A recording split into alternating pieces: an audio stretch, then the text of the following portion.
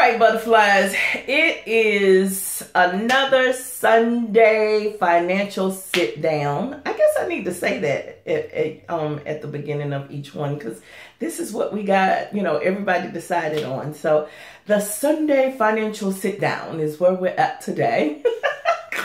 so um, what I wanted to talk to you about today, um, since it's almost the end of the month, on Ditching the Debt. You guys make sure that you go over there um, to the Facebook group and um, become a member. We have such a good time. We have a lot of inspiration. We have a lot of suggestions. We have a lot of support. So I would love for you guys to come um, just do a search for groups um, with Ditching the Debt. Oh, okay, so me and my big mouth, I decided to put out a challenge for January.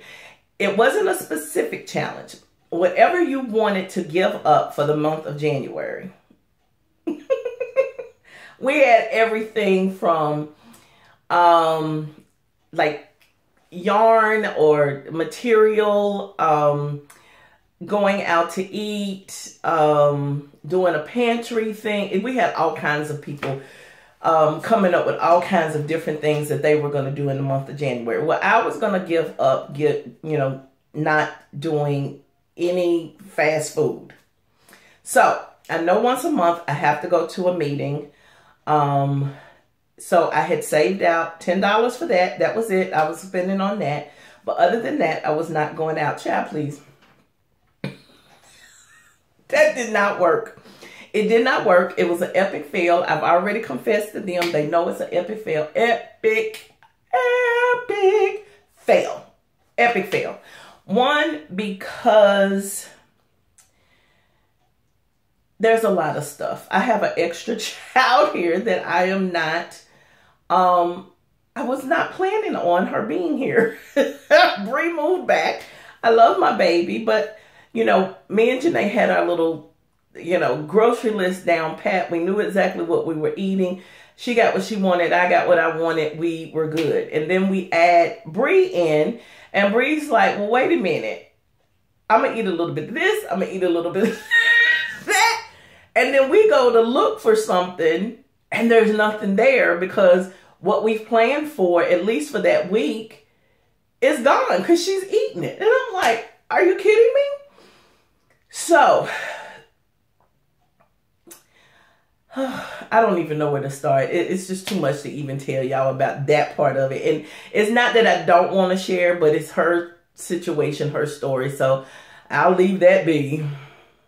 But it has affected my grocery budget. It has affected um, how we're moving forward and trying to stay within the budget. So um, me and Janae had to go out on a couple of occasions. And so there you have it. The other ladies have been doing very well um, thus far. Everybody seems to be doing good. But what I did decide is that I do need to add, I do need to be realistic with myself. I need to realize that we do like going out to eat, but I think I need to do that money in cash. And when it's gone, it's gone. I think to go cold turkey for us is probably not the best thing. Now, it's not a situation where we go through, you know, well, I guess, you know, it's just little stuff. It's almost like, a, you know, death by a thousand cuts. It's, you know, a, a $3 meal here. Or, you see what I'm saying? And so it's a little bit um, hard to kind of even keep track of it because I'm just swiping. So I think I'm going to do, you know, a set amount. I'm going to look at February's budget and just see what is a realistic number for me and Janae, Bree's on her own, and then we just kind of go from there. So tell me if you guys did any no spends or anything down at the bottom. and um, make sure you guys subscribe. I love all of my new um, subscribers.